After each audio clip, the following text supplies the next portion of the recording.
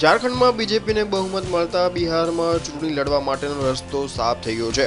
ઝારખંડમાં બહુમત મળતા બિહારમાં કોંગ્રેસ સહિત જેડીયુ અને આરજેડી સાથે જોવા મળી શકે છે. મળતી માહિતી પ્રમાણે બિહારમાં બીજેપીના વિજય રથને રોકવા માટે ત્રણ પાર્ટીઓ વચ્ચે મહાગઠબંધન થવાની સંભાવના છે.